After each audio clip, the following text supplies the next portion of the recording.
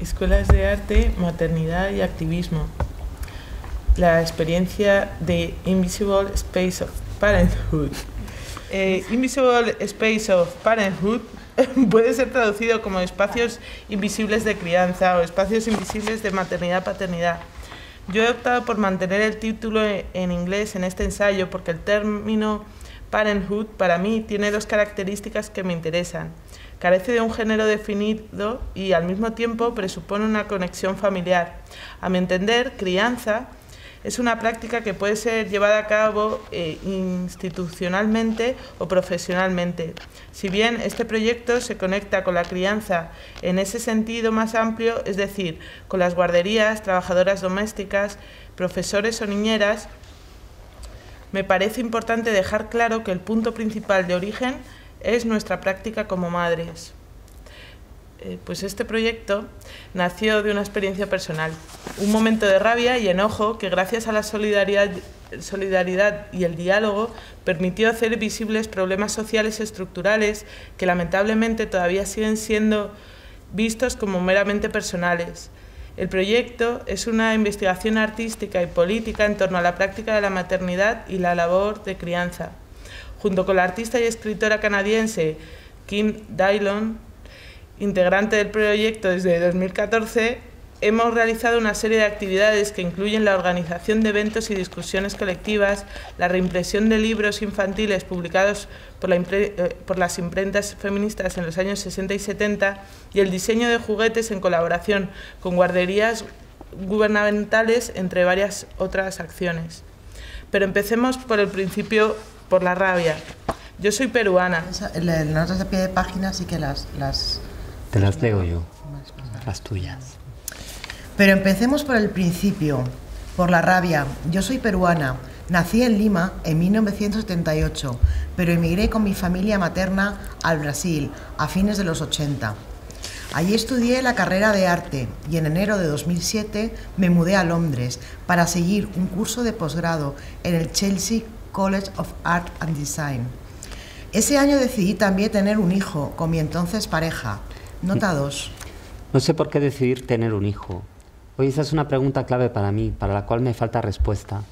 De alguna forma para nosotros, como pareja, en aquel momento, ese parecía ser el paso natural. No me arrepiento de tener a Oscar, pero reconozco las fuerzas sociales y culturales que me llevaron a tomar esa decisión en su momento. Ya había optado por postergar el segundo año de la maestría y Oscar nació en junio de 2008. Nota 3. Las personas tienen diferentes necesidades, deseos y orientaciones. Para mí ese primer año cuidando a mi hijo fue una de las experiencias más violentas que he vivido. Me vi confrontada con una serie de ideas o comentarios que me decían directa o indirectamente que de pronto yo ya no existía, que no contaba como persona, que ese bebé debería ser lo único importante en mi vida. Esos comentarios aparecían como un eco constante a mi alrededor. Yo nunca me había dado cuenta de que tener un hijo o hija podía significar dejar de existir como sujeto. Por ese motivo, les tengo cierta desconfianza a las narrativas acríticas de la maternidad que elevan a la madre y a la experiencia de maternidad por encima de cualquier otra cosa. Luego de ello, la decisión de volver a estudiar fue difícil en sí misma. La negociación entre mi práctica artística y mi vida personal se convirtió en una discusión más pública de lo que jamás había imaginado. Ser madre, y creo también que padre, o cualquier otra práctica de crianza, puede generar hacia nosotras formas de disciplinamiento social intensas en torno a cómo llevar adelante esa labor. De pronto escuchaba frases que juzgaban de modo autoritario mis dudas o decisiones con respecto a las maneras de retomar mi propia vida profesional con preguntas como ¿tan chiquito y ya vas a regresar a trabajar? Mucha gente, incluso extraños, sentían que tenían el derecho de decirme que, que estaba haciendo algo malo al pensar en dejarlo en una guardería, que eso podría hacerle daño. Más aún, la suposición general dictaba que debido al elevado costo de las guarderías en Londres, la opción natural era que yo dejara de trabajar y o estudiar y me dedicara a mi hijo las 24 horas del día por tiempo indefinido. Nota 4. El número de horas gratuitas en guarderías en el Reino Unido ha aumentado progresivamente en los últimos años, pero en ese momento era bastante restrictivo y accesible solo en algunas regiones a partir de los tres años, 15 horas por semana. Los antiguos parámetros sociales promovían la idea de que si la madre no ganaba arriba un determinado monto salarial, era mejor para las finanzas familiares que se dedicara integralmente a la crianza hasta la edad escolar. Con la presencia creciente del discurso feminista, esa posición tradicional ha sido cuestionada no solo en la manera en, la que, asume los roles, de, los roles de género, sino también en las consecuencias para las mujeres que dejan el mercado de trabajo y perpetúan una situación de dependencia económica.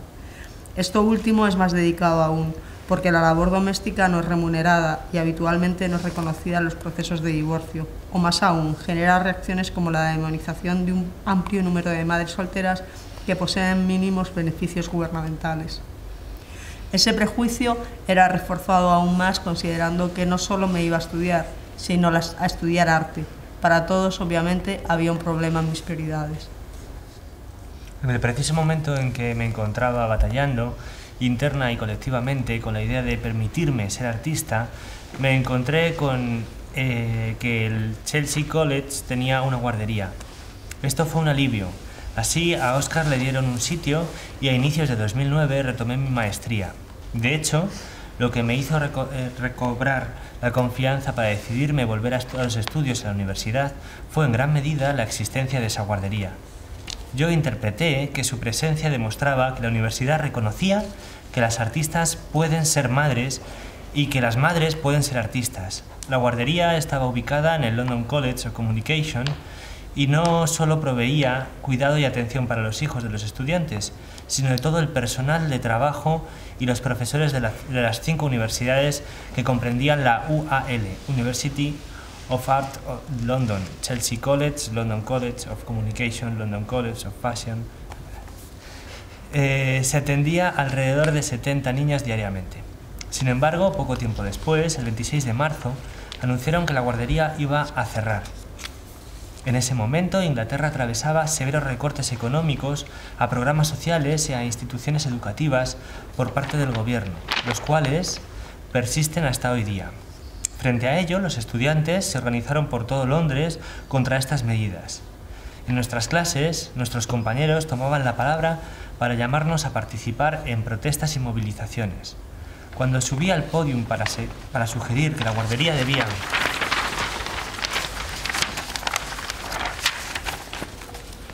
ser incluida en las listas de demandas, nunca imaginé las respuestas que recibí. ¿A nosotros qué nos importan las guarderías? Si tienen que recortar gastos, mejor esos que cualquier otra cosa. Y mi favorita, eh, de verdad, dolió y dio origen a todo, que dio, que dolió y dio origen a todo esto. Tú decidiste ser madre y todos sabemos que no se puede ser madre y artista. Ciertamente, esa última respuesta la había oído muchas veces. Decir que nosotros habíamos tomado la decisión de tener hijos y que teníamos que asumir esa labor individualmente que el cuidado de los niños era una responsabilidad personal. Mientras escribo y recuerdo todas las oportunidades en, que escuché esas frases aquel año, todavía me lleno de rabia. Rabia porque si bien las cosas han mejorado, yo conozco el efecto que esas palabras han tenido y siguen teniendo en muchas mujeres. Es allí donde se hace mucho más evidente cómo está estructurado el sistema de privilegios del mundo cultural señalando las maneras desiguales en que se construyen las posibilidades para hacer arte, la preeminencia de quienes pueden hablar, el poder de quienes tienen la facultad de construir los sistemas de crítica, de representación, de ética en los que todos nosotros vivimos. Rabia porque deja claro lo que todos sabemos y nunca decimos, que los cuerpos a los que les está permitido darle forma al mundo, y en esta tarea las artes tienen más responsabilidad de lo que solemos admitir, pertenecen habitualmente a cierto género, raza, clase social, nacionalidad, etc. Lo más violento es que mis compañeros y colegas que me respondieron eso no lo pensaron bien. Lo dijeron como quien dice una verdad, una obviedad, algo natural, algo que no se discute. Algún compañero incluso me citó tiempo después las palabras de la artista serbia Marina Abramovic sobre su decisión explícita de no ser madre para dedicarse integralmente a su práctica artística, enfatizando la incompatibilidad de ambas labores. Nota 5. Marina Abramovic dijo, yo nunca quise, yo nunca tuve el reloj biológico corriendo contra mí como otras mujeres. Siempre quise ser artista y sabía que no podía dividir esta energía en nada adicional. Mirando hacia atrás, sí creo que fue la decisión correcta. Si ella es mujer y lo dice, no solo, obviamente, debe ser la verdad, sino que debe aplicarse a todas las artistas mujeres. Frente a la amenaza de cierre y la escasa solidaridad con nuestras demandas, el personal de la guardería y los usuarios nos organizamos. Nota 6. En este aspecto ellos fueron más activos que yo. Quiero dejar claro que mi rol como activista en esa parte no fue de ninguna forma de liderazgo u organizacional. Protestamos. Alguien tuvo la idea de forzar, a la UAL a hacer un estudio de impacto, algo que era una obligación legal en Inglaterra antes de poner fin a un servicio como ese. El estudio demostró que el cierre afectaría desproporcionalmente a las mujeres, algo así como un 96%. La UAL respondió que su obligación legal era llevar a cabo el estudio, pero no necesariamente seguir sus recomendaciones. El 30 de julio del 2009 la guardería de la UAL cerró. El proceso fue abrupto y dio como resultado que ocho trabajadores de la institución y 22 madres, padres, tuviéramos que buscar alternativas de cuidado en muy poco tiempo. La mayoría de nosotros consiguió otras soluciones atravesando serias dificultades. En Londres las guarderías tienen habitualmente listas de espera que demoran meses, incluso años, pero por lo menos existe una estructura de cuidado de los niños, aunque en términos económicos es una de las más costosas de Europa. Puse a mi hijo en una guardería cerca de mi casa, la que lo pudo admitir a último momento y que él todavía recuerda como la guardería a la que no le gustaba ir. Otras personas que enfrentaron la misma situación pidieron ayuda a sus familiares o simplemente se vieron forzadas a disminuir sus horas de trabajo o de estudio. Dos chicas negras que cursaban bachillerato, madres solteras, que habían tenido a sus hijos durante su adolescencia, tuvieron que dejar de estudiar. Es importante mencionarlo porque sería hipócrita no señalar que existe una cadena de privilegios que hace que algunos cuerpos sean siempre los más afectados y excluidos en estos procesos de precarización, producto de la reestructuración neoliberal de las instituciones educativas. Ambas habían sido las primeras dentro de sus familias en ir a la universidad y habían luchado para poder llevar a cabo cursos en arte y diseño que sus familias veían como banales o superfluos. ¿Quiénes se pensaban que eran? ¿Cómo se atrevían a estudiar viniendo de donde venían y siendo madres solteras? Diría el sentido común machista sobre lo que ellas estaban haciendo. Si bien había becas para estudiantes que necesitaban ayuda con el cuidado de los niños, ellas no tenían el apoyo estructural suficiente ni el tiempo libre de organizarse para realizar los trámites. Finalmente abandonaron todos sus cursos. La universidad les dejó claro que todas las voces y los sentidos racistas y patriarcales comunes a su alrededor tenían razón, que sus posibilidades habían sido predefinidas desde hacía mucho tiempo. Por más violento que haya sido, Puedo entender mejor ahora las condiciones neoliberales que hicieron que la universidad se viera forzada a cerrar la guardería. El sistema educacional en Inglaterra y en muchos otros lugares del mundo camina hacia la privatización total y claramente el lucro corporativo no es compatible con una ética social. Sin embargo, lo que considero inadmisible es que los estudiantes que se presumían de izquierda no vieran ni reconocieran a las madres trabajadoras, no comprendieran el abismo de desigualdad que la clausura de la guardería perpetuaba y que no fueran capaces de solidarizarse con nosotras. Todo lo que quería en ese momento era que ellos asumieran la responsabilidad por sus acciones que entendieran las consecuencias de su manera de conceptualizar el mundo y el campo de las artes. O si no, que fueran suficientemente honestos, que sus cuerpos confrontaran a nuestros cuerpos, que nos miraran a los ojos y nos dijeran, ustedes no tienen el derecho de ser artistas o profesoras, nosotros sí. Fue nuevamente la rabia, como una reacción ante la falta de apoyo y consideración, lo que me obligó a montar una guardería autótípica eh, temporaria como parte de nuestra exposición final de la maestría. El espacio que recibimos era bastante grande y allí nació el primer proyecto de Invisible Space of Parenthood titulado The Nursery, la guardería, del 2010, el cual tenía como principal objetivo hacernos a nosotros, las madres y los padres, visibles. En cuanto a dinámica artística, el proyecto forzaba a reconocer aquello que había sido ignorado y borrado por los efectos de los modelos gerenciales y neoliberales que atravesaban la institución educativa. Yo diseñé y construí todos los muebles y juguetes con el apoyo y la colaboración de los trabajadores de la entonces clausurada guardería de la UAL, lo cual nos permitió pensar sobre las implicancias de la infraestructura y sus posibilidades en los procesos de crianza, para entonces ya había estado construyendo muebles utilizando manuales do it yourself de los 70, varios de ellos para ser usados por mi hijo Oscar. Del mismo modo, organizamos varias conversaciones con el personal de la institución y con otras madres, padres, sobre qué nos gustaba de la guardería y qué cambiaríamos si pudiéramos. Conseguí algunos pocos permisos especiales para que los niños pudieran tener acceso al edificio sin restricción. Imprimí copias de textos y fotografías que documentaban la historia de la guardería y su reciente clausura en la universidad y el mapa de montaje de la exposición final de la maestría, nuestro espacio era simplemente un cuarto meramente descrito como guardería, sin un destaque particular o especial. Sin embargo, The Nursery nunca funcionó como una guardería normal. La exigencia de los permisos y requisitos institucionales fue mucho más de lo que jamás podría haber conseguido. Pero el espacio sí logró hacer palpable la forma en que las prácticas de crianza afectan a diferentes personas en el campus y además ayudó, a deshacer la invisibilidad de las maternidades y paternidades en la escuela de arte.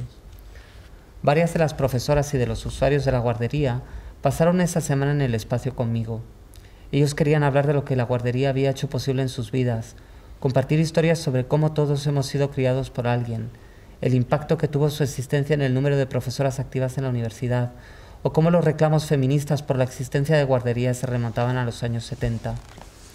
Otros visitantes, habitualmente mujeres, traían a sus hijos al espacio para mostrarles el sacrificio que ellas habían hecho por la falta de servicios para el cuidado de niños en el pasado o por no haber podido asumir la crianza en condiciones de igualdad con su pareja.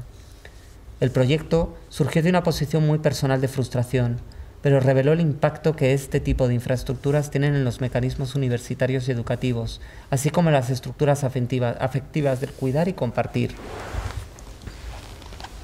hasta ahora mi anécdota preferida es la de un compañero de maestría que al momento de referirse a The Nursery les dijo a sus padres, esto es nada, es una alumna que protesta porque cerraron la guardería, para ser inmediatamente arrastrado dentro de la sala por su madre, quien le explicó que ella no había tenido otra opción que abandonar su carrera para cuidarlo, porque en esa época no había suficientes guarderías en Inglaterra.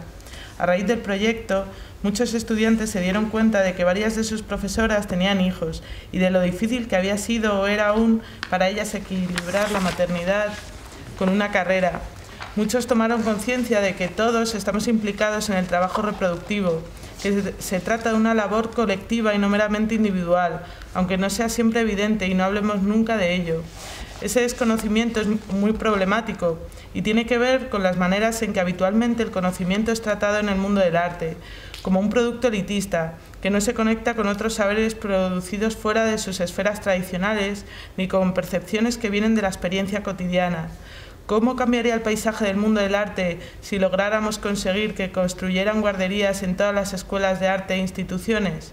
¿Habría una transformación en los modos de valorar y entender la relación social entre niños, padres y cuidadores si aumentara su visibilidad? Fue después de The tengo que admitir que en un momento ni siquiera tuvo un título claro o un discurso artístico demasiado profundo cuando creé el concepto de Invisible Space of Parenthood, que me ha servido como una sombrilla para apariciones posteriores del proyecto, las cuales continúan indagando sobre la maternidad y el cuidado de niños en el mundo del arte. Invisible Space of Parenthood ha sido una herramienta que me ha permitido seguir navegando los problemas que encontré en ese momento. Nota 7. Un proyecto posterior importante fue la serie de discusiones públicas y talleres bajo el título How to Support the Artist, Mother, Father, organizada con Martina Mulaneri. Estas actividades fueron parte de una residencia en The Showroom en 2012. En esta actividad conocí a Kim Dillon, lo cual sembró la semilla para nuestras futuras colaboraciones con ISP. Hoy en día el discurso feminista en Londres es mucho más fuerte y la, y la maternidad se ha vuelto un tema importante. Pero para mí Gran parte del discurso politizado sobre la maternidad repite los errores de falta de solidaridad. Considero que uno de los puntos políticos más importantes por discutir es la perpetuación de las mujeres y son casi siempre mujeres, en la adjudicación o asignación de las labores de crianza bajo estructuras de cuidado formales e informales, niñeras, trabajadoras domésticas, abuelas, profesoras de educación infantil, trabajadoras en guarderías, etc. Si bien existe una tradición de traspasos de afectos y amor a través del cuidado, principalmente de las mujeres en casa, creo que debemos estar atentos a lo que los procesos de emancipación o liberalización no se construyan a través de la simple transferencia de sistemas de opresión a otros grupos. En Londres colaboro de forma habitual con Justice for Domestic Workers, un sindicato informal de trabajadoras domésticas que se desempeñan eh, en condiciones de esclavitud laboral. La mayor parte de sus miembros son mujeres que dejaron a sus familias en los países de origen, en el sur global. Su situación migratoria, una visa de trabajadora doméstica con múltiples restricciones, hace que para muchas de ellas sea imposible cambiar de empleador, lo cual genera un modo de trabajo prácticamente invisible en donde abundan casos de explotación laboral y sexual. La explotación de esas mujeres encargadas del trabajo de crianza de otras mujeres mientras el poco dinero recibido lo mandan a sus países de origen, para que a su vez sus madres o hermanas críen a sus propios hijos, que ellas dejaron atrás para poder trabajar. Es una clara ilustración de los perversas que pueden ser también las cadenas globales de las labores de crianza. Y ello señala también las varias discusiones aún pendientes en torno al cuidado de niños, las formas de aprendizaje no autoritario, los estándares de crianza históricamente establecidos como femeninos y las posibilidades de construir justicia laboral acceso y condiciones económicas equitativas. Es verdad que nunca habíamos hablado en, en Lindes de este, de este nivel educativo, ¿no? que es, bueno, muy pocas veces. Como, porque en, nursery ni siquiera es educación infantil, es, o por lo menos aquí es de 0 a 3 años. Sí. Bueno, aquí no está hablando de nivel educativo, ¿no? Bueno, está hablando de una no lo está, cuestión no lo está hablando como nivel educativo, pero sí que está hablando de que es, forma parte también del sistema educativo, tanto en el que ella está inscrito como... Bueno, también menciona eso de que, mm, eh, que si estamos haciendo sistemas que son violentos y que están perpetuando, ¿no? al final si tú has estado en una guardería, lo hice por este niño que... Pero yo lo leo más como una educación superior que como una educación infantil, vaya, leo el texto. O sea, porque aquí no se problematiza la educación de 0 a 3, ¿no? sino que se habla de cómo las, mm, las madres y los padres, especialmente las madres, pueden desarrollar su formación, su vida.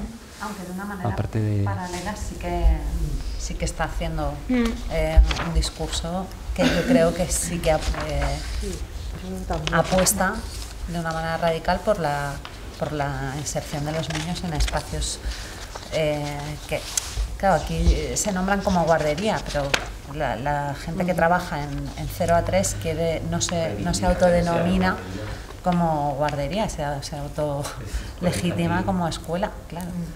Y yo creo que también en el texto se, se deduce un posicionamiento a favor de que los niños pasen por esa etapa siempre que, ¿no?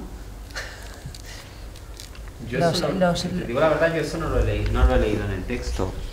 ¿No? Yo sí que veo que en el momento en el que ella dice, por ejemplo, que le pone en guardia eh, los discursos sobre maternidad que son eh, que, que, de alguna manera no sé cómo lo dice exactamente, pero que reivindican eh, la dedicación total a, a los hijos en los primeros años de vida, le generan una tensión, ¿no? Como lo dice exactamente. Sí, pero la madre, no porque sea bueno para el niño, ¿no? Ella yo creo que no entra en ese meollo, ¿no? Que es que la madre haga lo que le dé la gana con el niño, ¿no? Que es como cuando tienes un niño todo el mundo te dice lo que tienes que hacer, ¿no? Y ella reivindica un poco que ella haga lo que le dé la gana con el niño, ¿no? no o sea, no, no veo que, que, aquí se hable de la, de la educación infantil. Pero no, no se mete a desarrollarlo, pero de alguna manera está implícito que eso también será bueno para el niño. En el sentido de que la madre hace lo que le Mm. parece y el padre también. Sí, sí. Y el niño también está teniendo una vida que no Sí, sí, sí, sí. depende de que estén su padre o su madre permanentemente delante para, para llevar a cabo. ¿no? Y también ahí, de una manera colateral, pues habla de, de cómo repensar, o sea, sí que empieza a, a echar hilos sobre cómo el proyecto luego piensa también cómo replantear esos espacios o qué queda pendiente. A mí eso también me parece interesante, no solo desde el punto de vista de, lo educativo, ¿no? sino desde que no se mete en ese jardín porque lo que hace es un- una narración de cómo llega a, trabajar en este proyecto, ¿no? desde su experiencia, pero que de alguna manera yo también lo leo implícitamente en el texto. Me parece... También me, me generaba mucha curiosidad, porque claro, aquí eh, Dani y yo creo que somos los únicos que, que tenemos hijos, ¿no? Sí, eso es lo que me había interesado. Eh, eso, que. Pues eh, es una de las cosas que me había, o sea, una de las cosas que más me han interesado del texto es mi prejuicio de, uff, esto no me apela, ¿no? Como que, que creo que, que es eh, pues básico en el texto, justamente, ¿no? Como que, que la- mi primera impresión era, venga, voy a leer esto, pero que es ajeno a mí y para nada, ¿no? Como que justamente va de que no. Lo digo, pues eso, abiertamente, porque a mí me pasa en plan que qué pereza, ¿no? Y entonces, claro, ya te desmonta todo eso y justamente volvemos a, a por qué es para mí tan invisible o, o, o era, después de leer esto, ¿no? O sea, tan secundario, ¿no? Como, o yo qué sé, como que me hubiera, creía que no apelaba dentro de, de bueno, de... Claro. de- Para mí justo lo que me ha gustado del texto es que eh, poner foco en, en- en ella. O sea, cuando dice que el tener hijos le hace no ser sujeto, o sea, que en el, el texto no está, yo para mí no... eh, Está muy chulo porque justo está hablando del problema de ser madre. Y Sí. de- y yo creo que no está hablando de los niños ni la educación ni... No sé. Es que me gustaba justo porque es que dice, emplea la palabra violen, violencia, ¿no? Sí, que es Que como es el año más maravilloso poder leer eso, el texto. Yo al leerlo pensaba, digo, claro, es que esto en España no, no está el Claro, a ver, ¿cómo lo explico para, entender, para que me entendáis? Claro, este texto no se podría dar en España, digo, porque no se tienen hijos tan jóvenes, pero probablemente no se tienen hijos tan jóvenes porque ya no hay guarderías. El problema ya le surge cuando le quitan la guardería de la escuela, pero es que ahora un estudiante de segundo de carrera es impensable tener el niño porque dice, ¿qué coño hago yo con esto, no? O sea, supone Claro, por eso. radicalmente tener que dejar de estudiar o, o- o- que tengas las posibilidades de, o sea, que no hay un apoyo, no hay una red de apoyo más allá que la que pueda ser familiar para tener un hijo antes de los 35 en España. ¿no? Y aún así cuando se tiene esa edad está llena de problemas. Yo, mis amigas que están teniendo hijos, bueno, el problema este de, de pff, o sea, definitivamente, pero ya es que en España es implanteable. Claro, yo al empezar a leerlo digo, joder, que pronto se tienen los hijos allí, ¿no? ¿Verdad? También es algo cultural, bueno, eso no lo sé. ¿no? Porque es verdad que allí se tienen muy, muy pronto, aquí no Yo sé. creo que aquí se tienen y una parte de la población muy importante los tiene. Lo que pasa es que, claro, precisamente la estructura social es tan violenta y tan desigualitaria que es que ellas nunca van a acceder, por ejemplo, a un espacio universitario. Claro, Ni siquiera también. se plantean, Claro. o sea, en ciertos contextos socioeconómicos, claro, cuando las chavalas se quedan embarazadas con 17 años o 18 Sí, o o, 22. o 22, o sea, ya están en un contexto socioeconómico en el que saben que la universi- un espacio cultural no es para ellas, ser artista no está dentro de su imaginario, ¿no? O sea, que, que ni siquiera aparecen en, en el Sí. de la... ¿no? Yo tengo que decir que eh, en los únicos contextos en los que eh, trabajando en arte se ha dado por supuesto que, por ejemplo, iba a haber guardería, en casos de ser invitados a exposiciones eh, o a participar en, seminarios alrededor de... ha sido cuando lo organizaban mujeres artistas feministas, incluso cuando ellas no tenían hijos. Es verdad que, también Publio y yo hemos mm, planteado muchas veces cuando nos han invitado a hacer, por ejemplo, algún taller, vamos, pero tenemos que ir con, con los hijos, porque, eh, pues por ejemplo, recuerdo en, el, en, la trasera de Bellas Artes, que lo, queríamos hacer un taller que en vez de durar, eh, no me acuerdo cuánto nos habían propuesto, dos semanas concentrado, lo queríamos hacer expandido en el tiempo. Pero claro, era, era, era muy difícil o no queríamos asumir dejar a, a Tristán y a Romeo durante no sé cuántos meses, todos los no sé qué, sin, sin estar con ellos. Y entonces lo que hicimos fue plantear que venían. Y vinieron. y entonces también eso es otra manera ¿no? que te vas encontrando de plantear cosas y hay entornos donde eso es planteable y entornos donde eso no es planteable. Y es curioso donde no es ya que sea planteable, sino que te viene dado, se te plantea de antemano. Y, y eso es, es, interesante también, ¿no? Te dice mucho de, de con quién trabajas, sí. o de qué sensibilidad, o qué capacidad empática hay, o qué...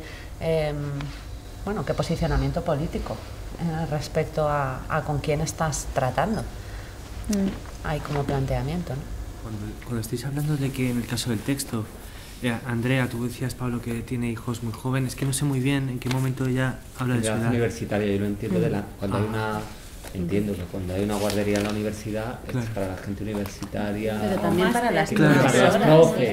Y para las o sea, que estará entre los 20 y los 30 o 20. Sí. Sí, claro, yo estaba pensando todo el rato cómo, cómo eh, claro, la temporalidad ahora, ¿no? Como de, de, la vida de estudiante se extiende, se extiende el tiempo con, los, con el máster y con todos los estudios de posgrado.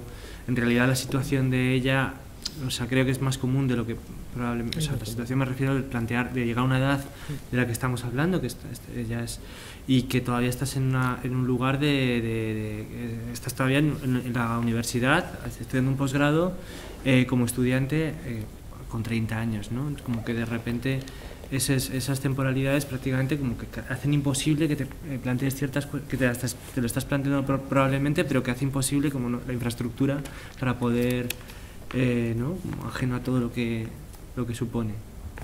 O sea, como, yo, yo, sí que estaba leyendo el texto, estaba teniendo como, eh, como, como me estaba imaginando, estaba pensando en, en, amigas que están estudiando ahora un posgrado. Yo sí que estaba, yo estaba viendo gente de 33 años, ¿no? No me parecía tan descabellado, ¿no?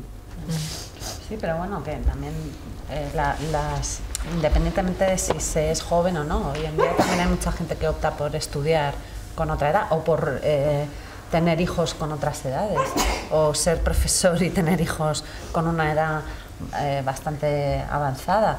Pero el hecho de que o sea, eso sí que me parece tremendamente ajeno, ¿no? Que leemos este, este texto y que podamos entender que en la universidad haya guarderías. Ya. O sea, es que eso en este país no hemos llegado claro, ni, ni, a, ni, a, imaginarlo, claro, ni a imaginarlo, ¿no? Como una en posibilidad la, real. Curiosamente, el otro día surgió el tema en clase. Estábamos viendo en la clase documental eh, con mis estudiantes después de, de Cecilia Bartolomé y viendo cómo algunos de los mm, temas del malestar en la transición eh, con respecto a las mujeres, pues persisten, perviven incluso están, digamos, en, esa misma dimensión. Pero ellas, además, eh, eh, cuando salió el tema del, aborto, lo llevaron, sacaron, digamos, apareció un tema que, que, en la película, por ejemplo, no está, que es el tema de, de la crianza y de los cuidados, ¿no? Porque yo creo que aquí lo que, un poco también lo que extiende es toda la cuestión también de, de los cuidados, más allá de la, de la, de la crianza. Entonces, ella, lo que están muy preocupadas, mis estudiantes de 20 años, es que no saben cuándo, cuándo van a tener los hijos. No lo saben. Entonces yo les expliqué que sí que tenemos, digamos, una pequeña escuelita que puedes llevar, digamos, como al, al bebé desde que es bebé, pero que las estudiantes también los pueden, los pueden llevar. Pero bueno, es un lugar como bastante pequeño, tampoco si, yo creo que si toda, de hecho hay que hacer como una reserva, si te seleccionan, no te seleccionan, y que si todas las mujeres que tienen niños y niñas de la universidad y estudiantes decidieran llevar allí también, digamos, sería como bastante, sería bastante imposible, ¿no? Eh, pero que creo que lo. Bueno, lo primero es que a mí Marina Abramovic, ¿cuánto, da- cuánto daño ha hecho al, al arte? Porque es que ya está bien, de verdad. Yo la desconocía la cita esta, pero si ya no me interesa su obra, ya, ya después de leer la cita esta, eh, peor todavía, ¿no? Claro, es, pero es un poco también como el régimen, ¿no? Fijaros, Marina Abramovic, ¿no? Con esta frase tan, tan tendenciosa, ¿no? Y tan eh, universalizable de cuáles son, digamos, las estructuras y los regímenes también de visibilidad, de poder de la artista en el, en el arte contemporáneo. Que pasan, y además ella también lo dice, pues una cuestión de, de- de- de raza, de raza también, súper, súper, súper fuerte. De clase, Y de clase social. hombre, sobre todo, Y de clase social sobre todo. que la raza está, bueno, bastante Bueno, interrelacionada. me, me refería más en, en Europa. En España, desde luego, es clase y género fundamentalmente. Sí. Es decir, que hay una, hay una cuestión de clase social bastante importante y de género. Y raza también.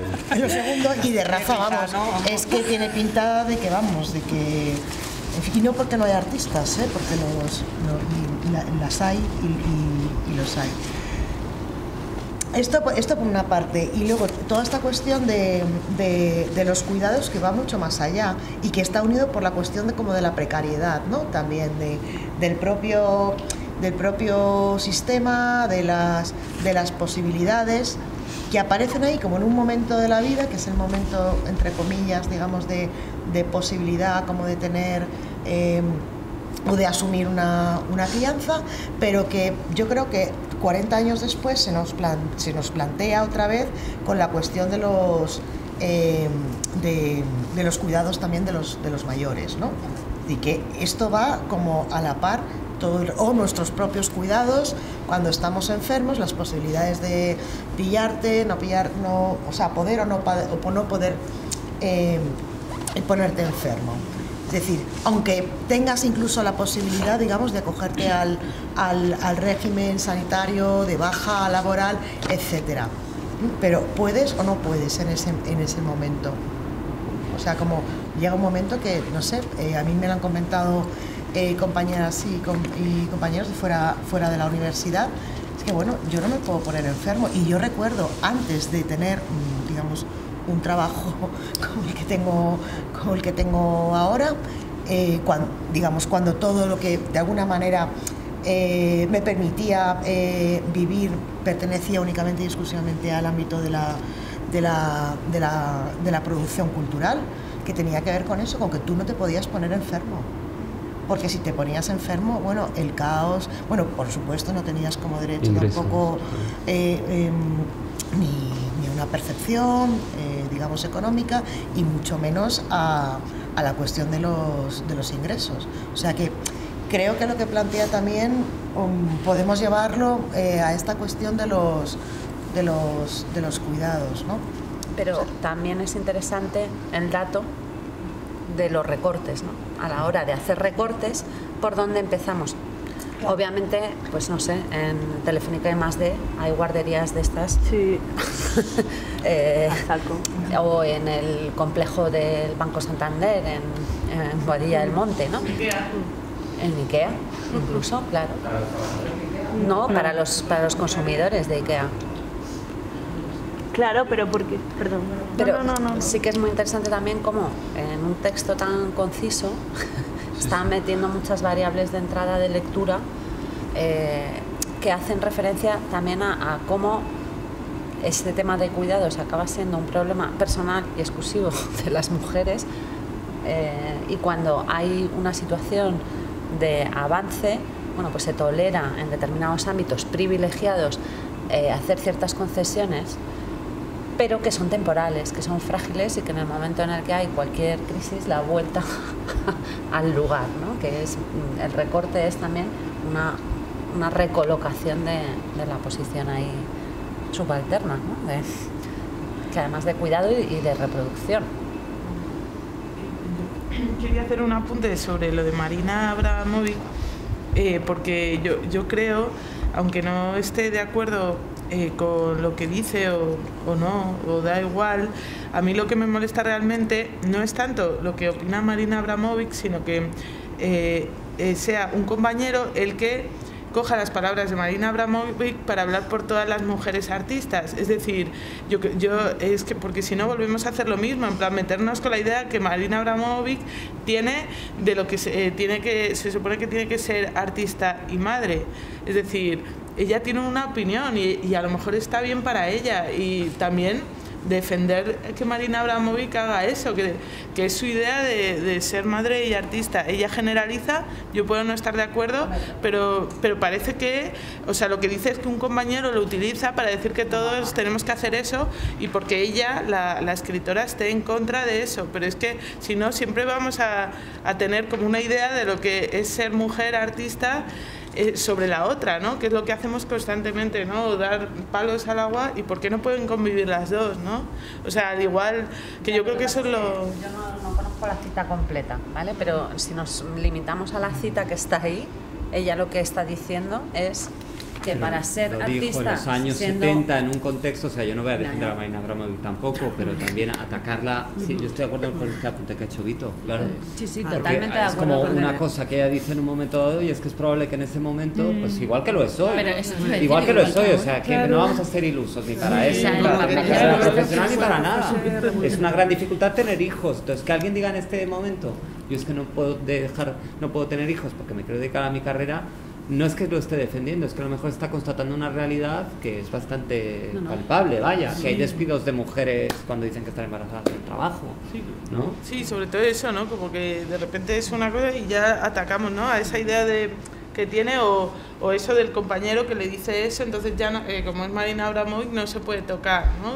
O sea, como cuestionar todas las ideas, que sea un poco más Sí. de varios conceptos y cada una en su experiencia, ¿no? Porque yo me imagino a Marina ahí es, sublimada con su arte y por supuesto, claro, la idea de... O sea, que está... Entiendo y el apunte, pero para mí lo preocupante es el imaginario que hay del artista. O sea, que lo Claro. único que tengamos disponible sea a Marina Abramovic, aunque sea tía, o sea a Picasso, me da igual. O sea, que, que no tengamos otros imaginarios disponibles de que porque seas artista no te puedes permitir. Es que a mí en eso el texto me removió mucho porque yo que nunca he querido ser Claro, madre, o sea, que no ha corrido tampoco por... Pero sí que me planteé, claro, con qué imaginarios he jugado yo cuáles han estado disponibles para mí, tanto de maternidad Claro. como de no maternidad, en lo que yo he, he ido construyéndome. Y a eso sí que el texto me, me movió un montón, porque dije, jo, nunca había pensado, o sea, sí que había pensado en modelos de maternidad que me parecían súper difíciles, frustrantes, eh, muy sacrificados, muy tal, todo eso, ¿no? Pero claro, ya luego en as- en- si lo unía con lo profesional, era como que tenía un vacío tremendo de qué referentes he tenido en cosas que me interesan, o sea, en el imaginario. Sí, por eso eh, a lo que me refiero es que este compañero eh, inventó este imaginario eh, con eh, Marina Abramovic sobre eh, la artista y, y mujer, porque hay muchísimos otros referentes que hablan desde otra manera que no le interesó al compañero compartir con la, con la, con la escritora o con, bueno, con la artista. es que creo que no, no están tan disponibles. O sea, que el comentario del compañero y de focalizarlo en Marina Abramovic, por supuesto que estoy de acuerdo. Con lo que yo no estoy de acuerdo es que con Que que, no tengamos existan. tantos referentes. O sea, yo el texto justo lo que me hizo pensar fue, jo, es que yo no he tenido casi prácticamente referentes, a no ser que sean de compañeras directamente ahora, en el imaginario de sus maternidades como artistas. O en el imaginario, más allá de que lo sean. A mí recientemente me contaba una compañera, la cual he invitado hoy, y es madre, y dijo que no podía. Digo, pero es un friends, o sea, kids friendly, puedes traer a tu hijo, ¿no? Pero al final no ha venido. Pero sí me contaba algo que yo no tenía ni idea, que debe haber un montón, a lo mejor podéis contar si sabéis, de espacios que por ejemplo en Madrid la gente se está poniendo de acuerdo para poder eh, generar un espacio donde pues de, de, fame- de manera no como más comunal por turnos o tal eh, se turnan entre las familias los cuidados para poder ir a trabajar y me contó cómo hace un par de años eh, estaba participando en uno de esos espacios aquí en Madrid a ver si lo cuento bien. Eh, lo tenían ahí como bastante organizado, no sé si se, se inscriben como asociación en este caso, eh, alquilaban ese espacio y entre eh, podían pagar a alguien para que estuviese y, y siempre con alguien acompañando, una madre o un padre. y, eh, y le pregunté que qué tal la experiencia, yo pensando en que a lo mejor lo conflictivo iba a estar más en esta cuestión de cómo te puedes organizar, cómo organizáis los turnos dentro de que cada uno puede tener su trabajo.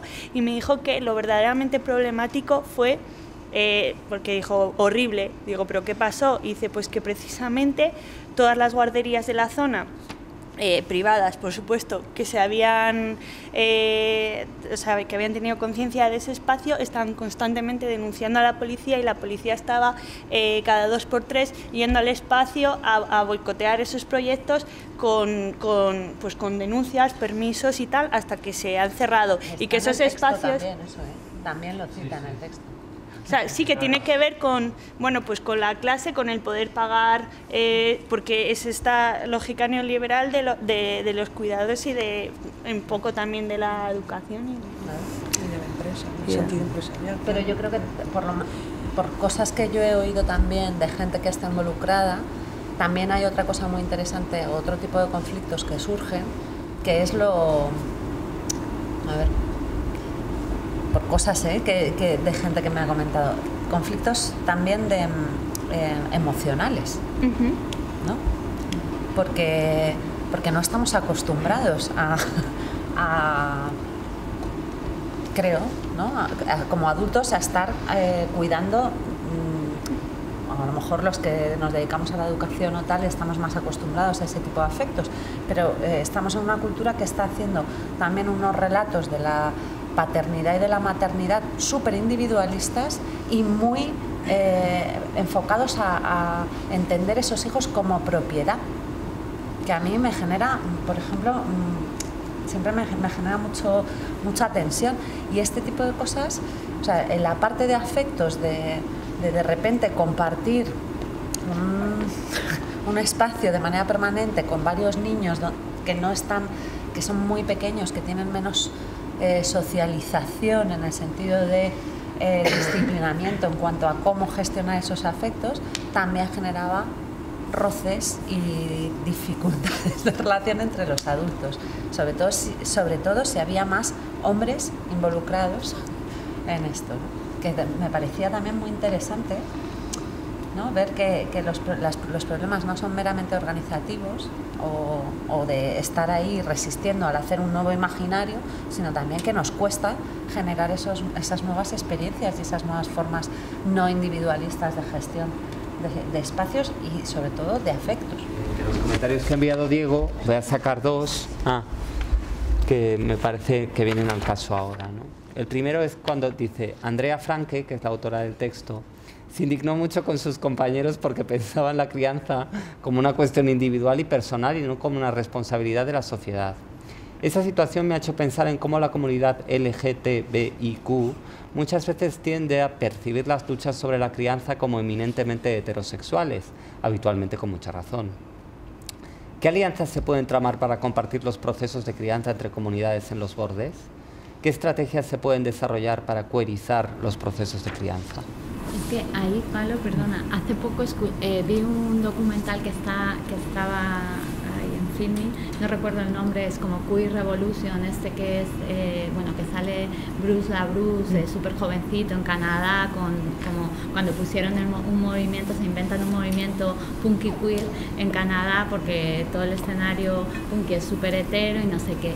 Y me gustó un montón una frase que él dice, ¿no? que él decía que ahora mismo eh, los colectivos LGBTQ no estamos sacando eh, como todo nuestro potencial para transformar eh, organ organizativamente lo social. Y yo justo pensé precisamente en estas historias de la crianza, ¿no? Y dije, jo, es que al final acaban siendo una reproducción absoluta de los sistemas tradicionales de crianza heteronormativos.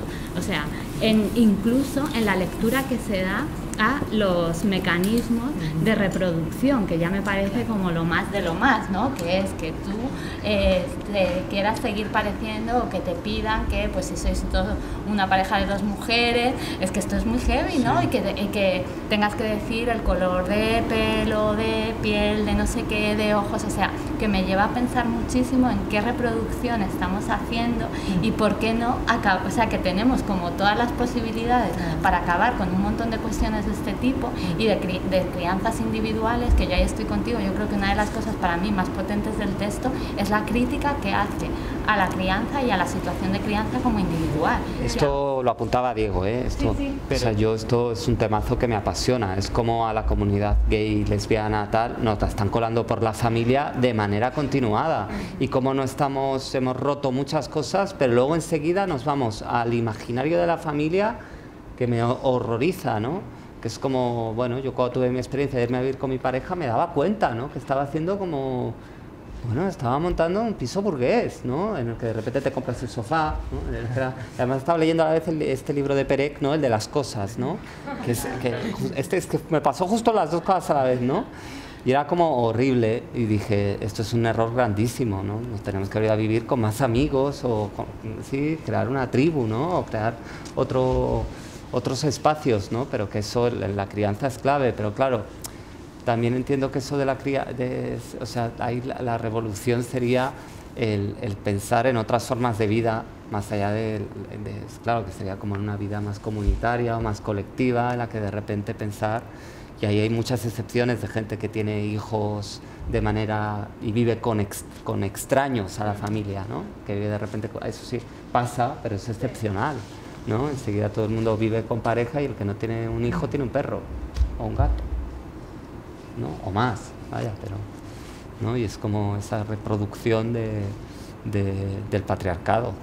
Una parte del texto que ella eh, se plantea en un momento como eh, eh, bueno, pues un momento en que el paso de, de, ser madre era un paso natural, o sea, le tocaba y entonces estaba dentro de esa década o de, ese, su eh, cronología vital, pues le tocaba hacer esas cosas, ¿no?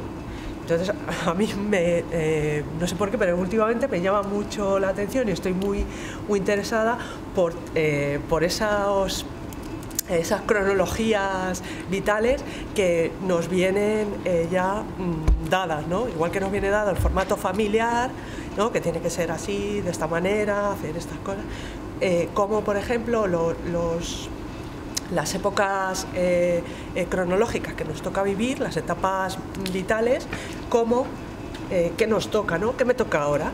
¿Qué me toca vivir ahora? Que ahora que voy a entrar en otra década, pues me, me, hago muchas preguntas, ¿no? de cómo, de qué, es, de qué me prepara, de que la sociedad como dice que tengo que vivir ese, ese tiempo, ¿no? Que, eh, respecto a mi cuerpo, respecto a mi profesión, respecto a mis relaciones, respecto a los cuidados y todo esto.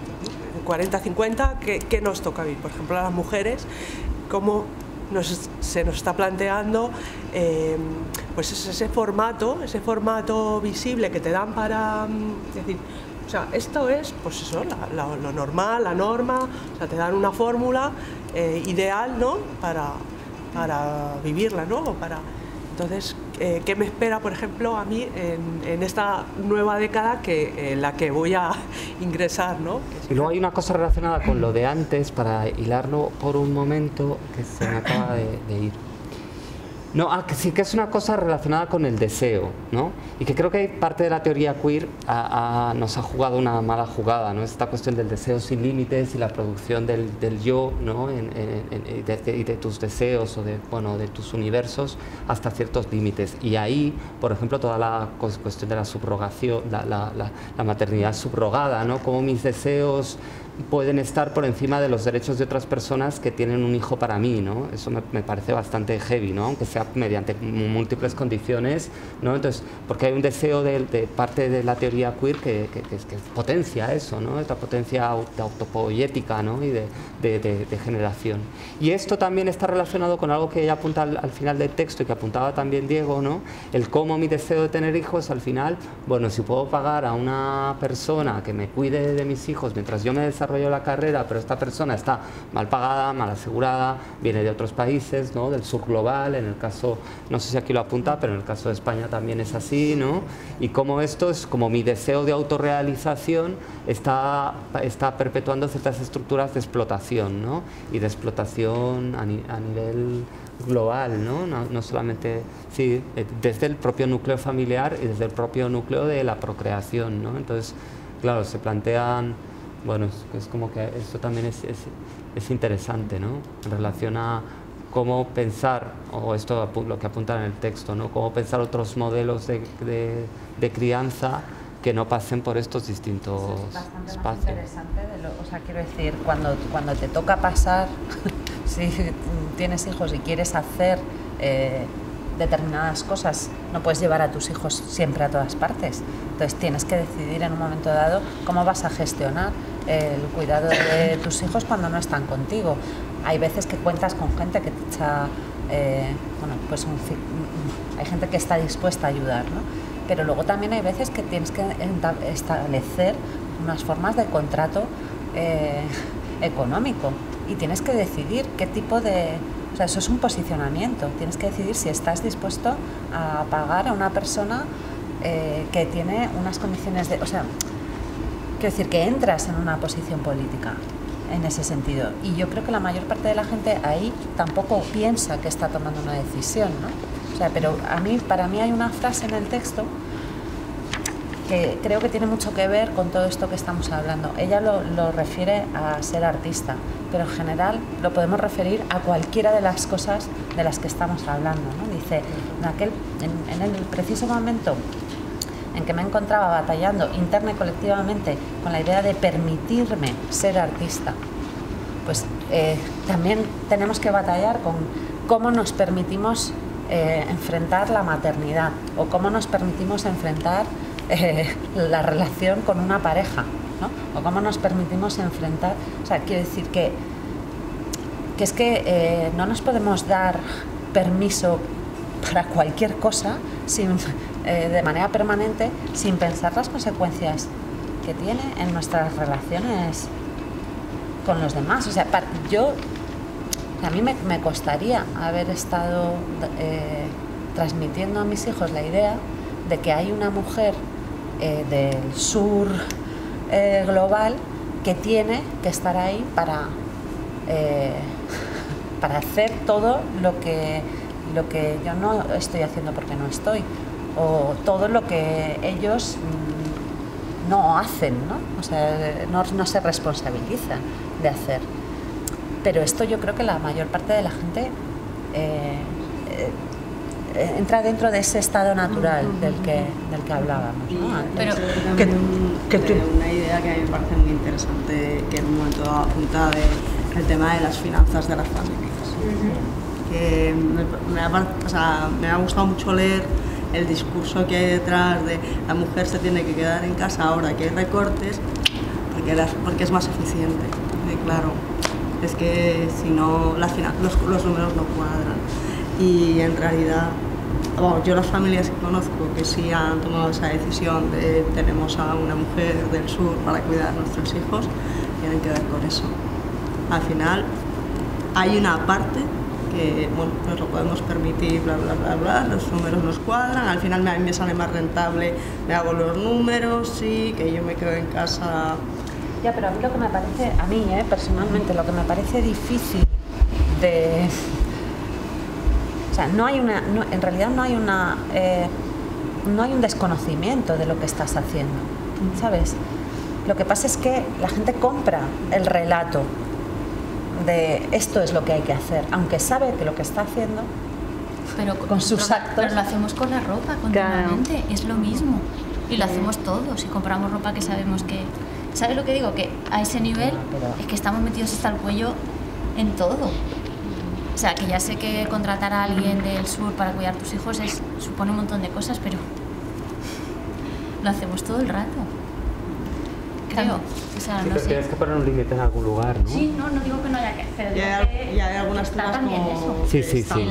Nadie es virgen. Más claro, tu cara, ¿no? Sí, no, nadie es es perfecto, y está, pero, pero estamos hablando de que estás también generando un estás, Pero estás para creando un mundo pues- emocional donde, vamos, yo es que he crecido en un entorno donde había una persona trabajando en casa, en, ca- en casa de mi familia.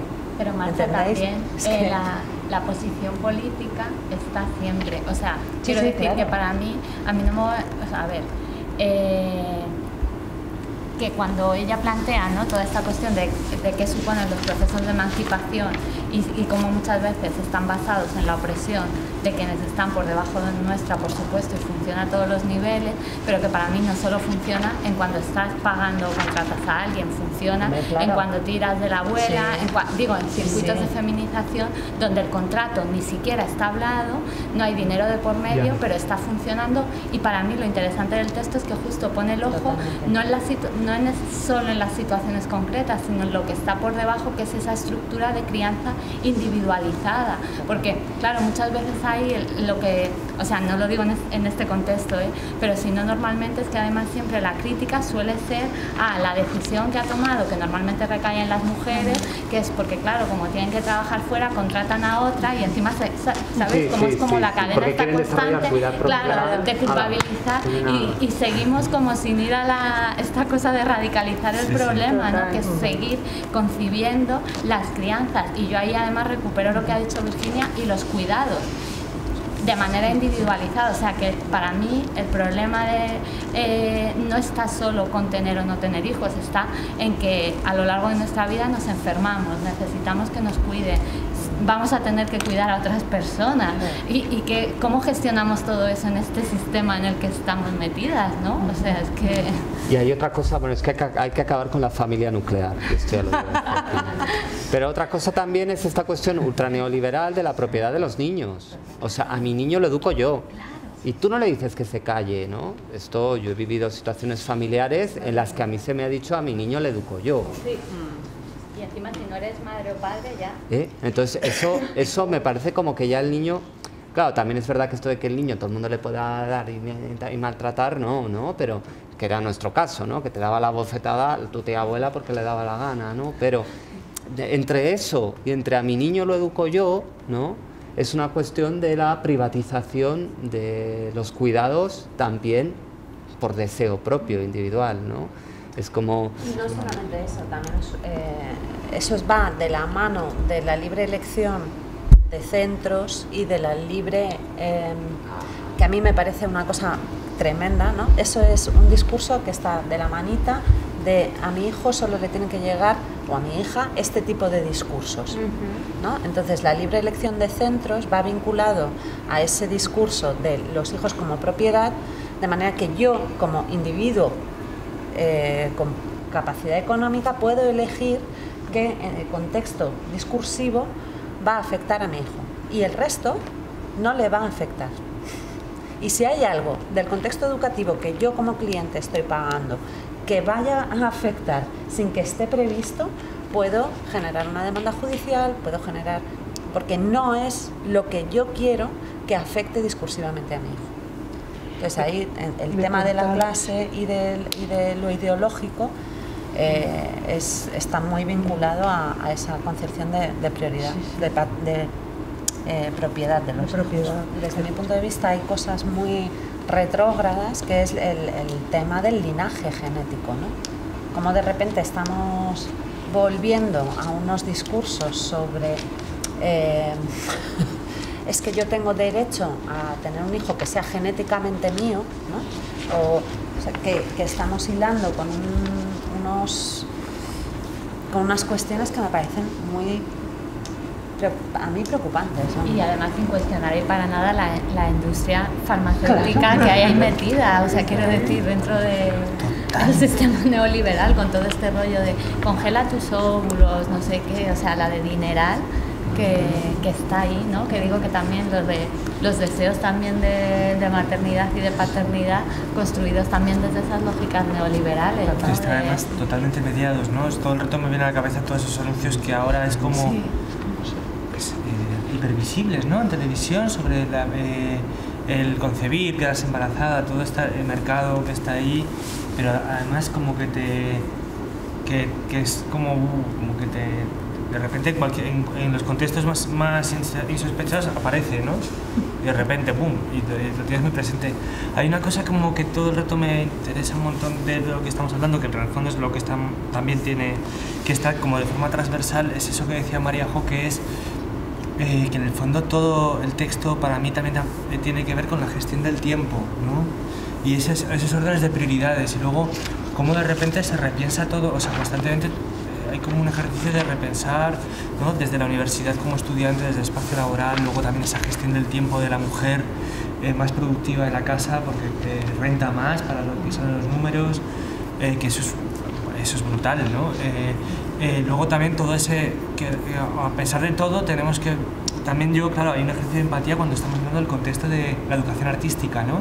Donde realmente ya dice, hay como un momento ahí que dice, eh, apela directamente o hablas directamente de esa idea de la decisión de encima estudiar artes, ¿no? Encima te vas a ir, vas a tener un hijo, no vas a estar con él, que, y, de- y te vas a ir a, a- a- a la universidad a estudiar artes. Como, como que hay un orden de ¿Quién se han prioridades. que son? Realmente está constantemente removiendo todo ese tipo de cuestiones ¿no? que nos apelan directamente. Lo que pasa es que yo también hay un tema que eh, me planteo bastante y es también cuando habla ya de, de la incompatibilidad ¿no? de ciertas labores y también pienso en la incompatibilidad de, mm, de la crianza porque es inevitable que, bueno, pues que, que si tú has decidido eh, criar un hijo, también, eh, mm, o sea, ¿por qué se habla de, de renuncias, de incompatibilidades y no se habla desde el lado de, de la ganancia, de, del- de la alegría, del- de la- a lo mejor no tener tiempo para otra cosa, porque tú también, o sea, cada vez que hacemos una elección estamos eh, dejando de lado otra, ¿no? Entonces, entonces mm, claro, ¿por qué también em, eh, nos crean también esa ansiedad a las, a las mujeres de, de, encima de tener que estar criando hijos, tienes que ser eh, eh, una gran profesional, eh, una empresaria de, éxito, un- o sea que, ah, que no es suficiente, no es suficiente con que estés con los cuidados, con que estés cuidando, con que estés o sea, que no es suficiente, además tienes que hacer, que estar estudiando, que estar trabajando, o sea, acceder a todos los. y ir a fiestas. No sé si me explico, que también nos, plantean que, eso, que, hay que hacer más, o sea, o la gente que está cuidando a gente mayor, o sea, eh, ¿por qué eso no es válido en sí mismo? Y nos crean también esa ansiedad de que no, además tengo que buscar un trabajo de éxito. Entonces esa minusvaloración ¿no? que hacen de, de todos esos cuidados. Pues el problema sobre todo es que sean modelos excluyentes. O sea, a mí, a mí si me dices como modelo de maternidad, ¿qué prefieres? ¿Poder hacer varias cosas o solo ser madre? Yo te digo poder hacer varias cosas, yo. Lo tengo clarísimo, ¿vale? Pero, pero... Sí, mm, sí. Y, si me, y si me dicen, no, pues es que tienes que ser madre solo eh, dedicándote a los cuidados, pues a lo mejor no lo hubiera hecho. En, ese- en esas condiciones, pues no, a lo mejor no lo hubiera hecho. ¿Entiendes? Como que en ca- en cada elección eh, de la mujer nos echamos la mano en la cabeza, sea cual sea, está fatal, pero no mal, no es horrible, o sea, que dar permiso. Sí, sí, pero eh, si os fijáis, no hay ninguna que diga anda, Ninguna está es que todas son malísimas, o sea, pero, Todas. pero de, de- o sea, acordaréis esto que, ¿no? que salió, bueno, esto es muy mediático, pero ¿no? de una que había dicho que que, que, que le había quitado tiempo, como era que no, no estaba, que le había eh, quitado vida tener un hijo y fue como que Uh. todo el mundo calidad de vida, ¿no? Y, eh, y tampoco es una cosa, ¿no? Como, como lógica, ¿no? Es, y fue como... Sí, claro que es lógico, no sé, cabe en una- o sea, no son locuras, no es una, una cosa enorme, Pero ¿no? esto en cosas más heavy, lo que decíamos antes de la manada, ¿no? Que se está jugando, jugando a una mujer por lo que había hecho antes o después de que la violasen. Pues imagínate con la maternidad Claro. que es menos, vamos, que, que no hay un acto de violencia de esa radicalidad, ¿no? ¿Cómo no te van a, te van a juzgar? Sí que pasa una cosa que yo ahí tengo que disentir un poco contigo. O sea, realmente es como, vale, te culpan, de, lo has elegido tú, ¿no? Como dice ella en el... Pero también eh, es que la familia es una parte de la estructura del sistema capitalista claramente en el que vivimos. Entonces se necesita esa situación de reproducción, se necesita fomentar que, que esa reproducción y ese trabajo reproductivo y de cuidados y de afectos siga siga funcionando. Por eso sí que hay un cambio de estatus para muchas mujeres en el momento de ser, de ser madres a nivel social. ¿eh? O sea, sí que hay como eh, un, un, cambio de reconocimiento social con respecto al estatus de esa mujer como mujer por el hecho de ser madre. Entonces, eh, esto tiene que, pues tiene que existir para que se pueda seguir sustentando el relato de que te va a, no sé, a, a ¿cómo es esto que dicen los eh, que las mujeres se realizan en la maternidad. Es muy curioso, se reconocen, pues eso. te reconocen justo cuando no eres sujeto. Claro, el momento que más reconocimiento tiene la mujer es cuando deja de existir. Efectivamente. Según ella dice, ¿no? Y muchas madres lo cuentan, ¿no? Yo me refería más a cualquier relato construido, o sea, el de la maternidad, el de la gran empresaria, el de la... O sea, que me refiero al relato construido, no tanto a que bueno, es que más allá de esto de la crianza, la maternidad es un temazo en la última década. También, quizá también por esto de la crisis, ¿no? de volver a la mujer a la casa, el que hay menos eh, servicios sociales, porque toda esta cuestión de la crianza hippie, guay, femi, ¿sabes? Que es como, bueno, ya he puesto un adjetivo que no debería, ¿no? Pero como como del sí, como de una renuncia total de la mujer y que eres mejor madre si le das de mamar el pecho, si no sé qué, si no le llevas a la guardería hasta los dos años, y, o sea, como ahí se entreveran ¿no? una serie de discursos que quizá muy interesados, quizá porque el, Estado ya no va a dar ni guarderías, ni leches, ni nada, entonces como... Yo entiendo entonces que la madre algún día diga, pues lo, cuido yo, no en eso de proteger, pero que también parece que todo el mundo te dice cómo tienes que criar a todo el mundo. Tu bebé, ¿no? Y hay como las dos, por eso es que nada está bien, ¿no? que, que, este tema de la maternidad en estos es cuando la derecha y la izquierda se juntan, pero por el otro lado, ¿no? Como que de repente o sea, han llegado como a la misma conclusión, ¿no? Ahí, ¿no? Como una madre y otra madre llegan en casa las dos. Sí, ¿no? Como a casa. Claro, claro, hay algo que de repente, aunque nunca lo, lo, digan la una con la otra, yo creo que llegan a esta conclusión. No sé. Ay, por volver a, a otras cuestiones que ya hemos comentado, pero que a lo mejor a mí sí que me, apetece como, subrayar, ¿no? Y esta, es esta cuestión como de la emoción desde donde ella escribe y hace la experiencia, que es la, rabia ante los impactos de la, de la violencia que está recibiendo como todo el tiempo. Entonces, bueno, me parece también como una posición a reivindicar sobre qué hacer con la rabia eh, que sentimos ante la... O sea, ver cómo hay, un mecanismo como muy claro, ¿no? O sea, tú vas eh, recibiendo eh, violencia, eso genera una rabia, no sabes muy bien por qué te sientes así, hasta que, bueno, te paras, porque es necesario como pararte, andar y reconocer. Yo creo que además los impactos de violencia no los reconoces como al primer momento.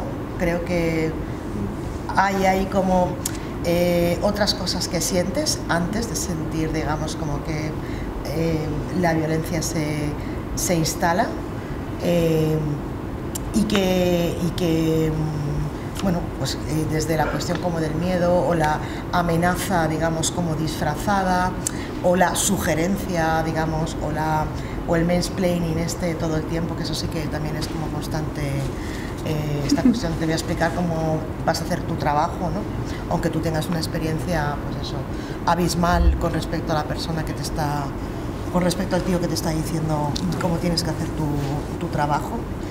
Eh, entonces, hay, todos unos mecanismos ahí como de violencia cotidiana que generan una rabia que, es importante también pues que no nos paralicen o que nos generen digamos como otros miedos, otros resentimientos y llevarlos, bueno, pues en este caso, pues eh, Andrea Franque pues articula toda esta cuestión, se pone a hacer, porque además el texto es bastante posterior a realmente a lo que hizo, o sea que en realidad ella lo a lo primero que se pone es a hacer algo. Mm. Y bueno, pues eso me ha gustado también mucho.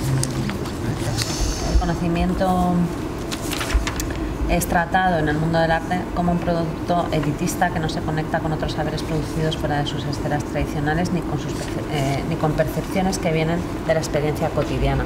Yo creo que esa reivindicación también de yo necesito trabajar esto porque mi experiencia cotidiana me lo está poniendo, es, es una problemática con la que me tengo que enfrentar vitalmente para poder eh, tomar posición, para poder eh, también lidiar con, la, realidad problematizada, convertir eso en un trabajo cultural que, del que podamos aprender otras personas, ¿no?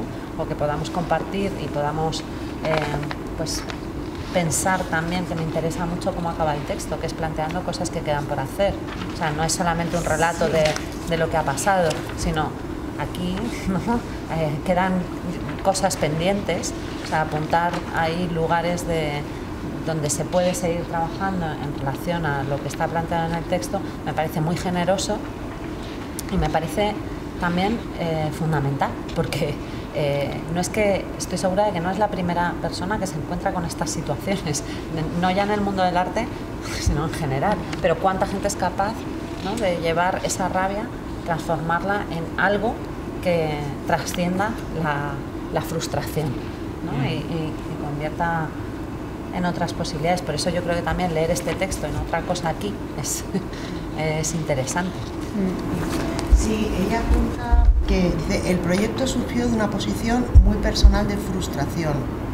Es decir, está hablando de, mm, eh, o sea, de, una situación de, de, violencia, de una generación de la rabia y de un, y, un y de un estado de frustración.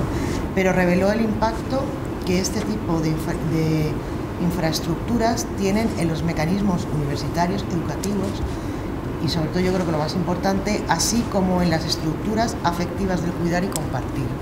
Y, esta, y me parece muy interesante esto del final. Igual podríamos ver qué es lo que ella, digamos, apunta de cosas como por hacer, ¿no? Y ver qué podríamos igual ahí proponer a partir del final del texto. En torno al cuidado de los niños, las formas de aprendizaje no autoritario, eh, los estándares de crianza históricamente establecidos como femeninos y las posibilidades de construir justicia laboral, acceso y condiciones económicas equitativas. O sea, que lo liga con eh, las, tres, las tres cosas que hemos estado discutiendo, las condiciones de producción y reproducción, eh, las cuestiones de cómo hacer una sociedad más solidaria y menos autoritaria, menos reproductiva en ese sentido del sistema. Y el tema de, de los conceptos o estándares de crianza como femeninos. A seguir cuestionando esos modelos y ampliando imaginarios, que, que yo creo que ahí hay que tener cuidado porque efectivamente desde muchos ámbitos la, ampliación de imaginarios está yéndose demasiado a reproducir cosas que ya conocemos. Mm. que este texto tampoco tiene tanto, tanto tiempo, es muy reciente. Mm. Y otra de las cosas así como claves que señala es esto que también, porque también hemos comentado, lo de que se trata de una labor colectiva y no meramente individual y que aunque no sea siempre evidente eh, y no hablemos nunca de ello. Y otra cosa que me gusta mucho del texto es que hace un recorrido como em, muy claro sobre los comentarios, ¿no? como eh, muy literal, sobre los comentarios y las palabras que se dijeron y las consecuencias que tuvieron después. ¿no? Son esas dos chicas dejan de estudiar, son, o sea, como eso me, ¿no? como el, tirar del hilo, ¿no? Sí, además, por ejemplo, en el caso de las dos chicas, me parece que también ella está cuidando a través del texto, ¿no? O sea, que, mm, que no son dos chicas cualesquiera, son dos chicas que además de tener una marca de raza, son las primeras en sus familias o sea, que accedían a la universidad, que lo que está también marcando al, detallar al extremo esas situaciones, que es lo que estás cortando ahí, ¿no? es, que estás también forzando una reproducción social que tenía avisos o tenía una puerta abierta para mm. poder no haber sido. Mm, eso, ¿no? Que procesos de emancipación o liberación no se construyen a través de la simple transferencia de sistemas de opresión a otros grupos. Y luego la invitación que hace a, a que sean honestos, ¿no? Es muy bonito también cuando dice, eh, sino que sean suficientemente honestos, que sus cuerpos confrontaran a nuestros cuerpos, que nos miraran a los ojos y nos dijeran, ustedes no tienen el derecho de ser artistas o profesoras, nosotras sí. Cuando está hablando de quién tiene el derecho a, bueno, de conceptualizar el mundo y tal. Es, es bonito también como dejar ya vamos a dejar de hacer. Pero a mí eso me da un poco de miedo porque yo creo que es que estamos llegando a ese punto. que lo van a ¿Sabes? O sea, yo creo que, en, esta, en esta parte que hemos hablado antes de comenzar la sesión, a mí lo que me da un poco de miedo es que estamos llegando. Pero igual está, es bueno ya que lleguemos y a ver qué pasa, porque es que están así, con capas de mentira. Igual hay que llegar al fondo. ¿Puedes volver a leer? Sí, estoy. Eh, página 148, abajo, y dice, eh, todo lo que quería en ese momento era que ellos asumieran responsabilidad por sus acciones, que entendieran las consecuencias de su manera de conceptualizar el mundo y el campo de las artes, o si no, que fueran suficientemente honestos, que sus cuerpos confrontaran a nuestros cuerpos, que nos miraran a los ojos y nos dijeran, ustedes no tienen el derecho de ser artistas o profesoras, nosotros sí. Y Marta, lo que dice entonces es que ya estamos llegando como a esa situación. Claro, que te van a decir a la cara, mira, no, tú vete de aquí, guapa. Sí. Claro, lo que pasa es que ante eso yo rebato.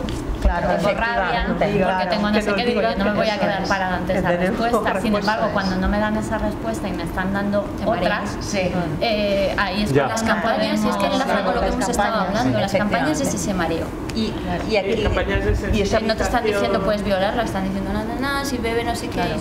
Y es esa violencia que, a la que tú te referías, que muchas veces no la reconoces mm, ya mm, en ese momento, sino que te das cuenta luego después. Claro que lo explícito para mí exige una confrontación directa y ahí estamos preparadas. Claro, claro.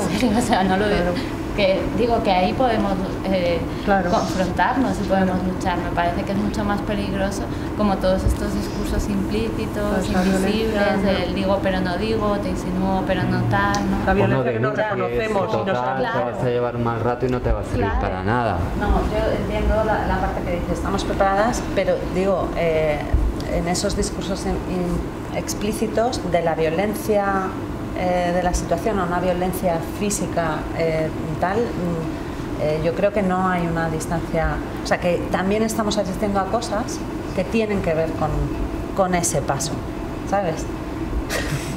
y yo creo que, mm, pues que es muy importante que, que, en ese rebatir también estemos dispuestas a, pues a, a, a llegar a, determinado, a determinado radicalismo sin que podamos em, ser ilusos, que, hay un aparato muy grande ahí preparado. Sí, me gustaría mucho recalcar em, la valoración que hace del trabajo de, cuidados, no solo de la crianza, sino de, todos los cuidados, del ocuparse de los otros y del cuidar de los otros que lo hace tanta gente tan anónimamente y tan precariamente. Y O sea, empezar también a, a, emancipar todos esos, todos esos trabajos y a valorar. En el fondo me, interesa que el proyecto, el proyecto en realidad es de lo que menos se habla, pero que es, es de lo que más se habla, ¿no? Pero que el proyecto de la guardería utópica, de los espacios de, invisibles de paternidad-maternidad, que de alguna manera eh, dentro del espacio educativo de la facultad eh, no deja de ser un fracaso, como que funciona porque es un fracaso. ¿no? De hecho creo que este texto es resultado de, una, de ese proyecto utópico de guardería que no se, que no se consigue y cómo desde el arte, como a través de la poética del arte, es, probablemente se llega mucho más lejos que de cualquier otra manera, ¿no? En este caso.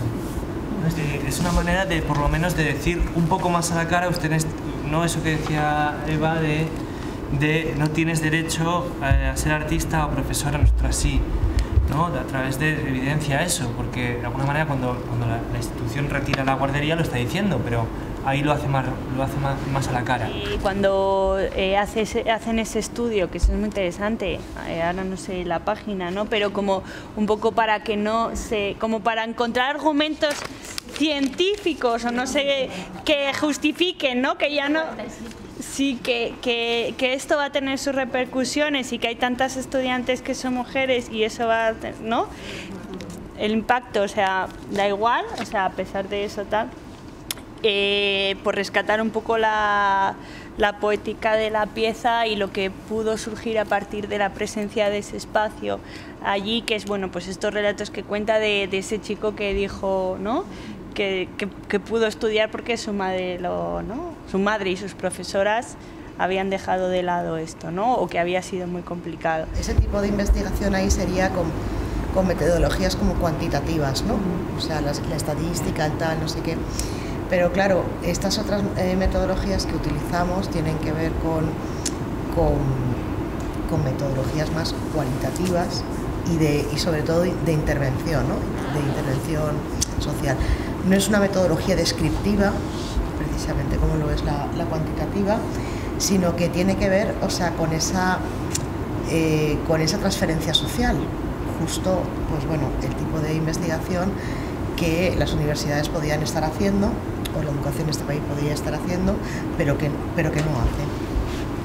Entonces es muy, es muy interesante también luego ver eh, cómo en realidad de muchos eh, museos o centros culturales en este país es de donde eh, han surgido, digamos, como reflexiones de pensamiento o propuestas, digamos, artísticas que han pensado más lo social que a lo mejor determinadas investigaciones de tipo cuantitativo en el ámbito eh, universitario. Y en concreto, pues me estoy refiriendo a las propias reflexiones sobre el marco de arte y educación, que eso sea, emana desde, desde precisamente como, como estos lugares a, a, esperar, no sé, a lo que las facultades de, educación están proponiendo ¿no? en estos casi eh, nueve años, ¿no? ocho años que, que, llevamos haciendo las lindes. Entonces, yo creo que eso sí que es una cuestión como muy a, a, reivindicar, ¿no? Ese, mm, ese valor que, que desde la práctica artística, desde un determinado proyecto de intervención, porque esto es un proyecto de intervención, o sea, claramente, ¿no? dentro de la propia, de la propia eh, estructura, dentro del propio sistema, es más efectivo y puede generar, digamos, mucha más esperanza, ¿no? Y luego, ¿cómo lo presenta? El otro día, por ejemplo, estuve en una presentación, o sea, quiere decir que eh, luego cómo se hace la, la, narración o la reflexión a partir de lo que se ha hecho. O sea, ya independientemente de cómo fuera allí, eh, a nosotros lo que nos llega es un, es un texto, es una reflexión sobre que nos, nos, transmite todo el relato de la experiencia y de qué ha motivado, cómo ha enfrentado, qué decisiones ha tomado, cómo se va y se pone a hablar también con las mujeres trabajadoras, o sea, cómo, cuál es todo, traza que da digamos, comparte herramientas. mira, yo lo he hecho así. Me ha pasado esto, eh, se me ocurrió y lo he hecho así, que te está también transmitiendo una manera de hacer. El otro día estuve en una presentación de un proyecto que a mí me parecía muy interesante y sin embargo la presentación caía en un academicismo que, que, yo decía, pero contadnos cómo lo habéis hecho, o sea, que no me cuentes todo el marco conceptual, que me interesa muy poco. O sea, ya hay un libro que luego yo ya me leeré. Cuéntame qué os ha pasado mientras lo hacíais. ¿no? O sea, eh, hazme otro tipo de, relato. Y a mí en, eso el texto me gusta muchísimo también, que me parece que está contando desde otro lugar que lo hace mucho menos eh, aniquilable por el, el, propio sistema académico, ¿sabes? Y eso me parece bonito. A mí esa tarea como de articular a través de una palabra, como todos esos procesos, me parece que es en sí mismo la tarea, o sea, parte de la tarea y un enorme ejercicio de inteligencia que ¿sabes? Como tengo un problema y como adulto pongo toda la maquinaria de mi inteligencia como resolverlo. ¿vale? Y para mí, o sea, eso me, me produce mucho asombro y me, y me produce mucha alegría también, o sea, o mucha satisfacción poder leerlo, hay que alguien me lo cuente. ¿no? Mira que esto sí, es verdad que es así como se resuelven las cosas. ¿no?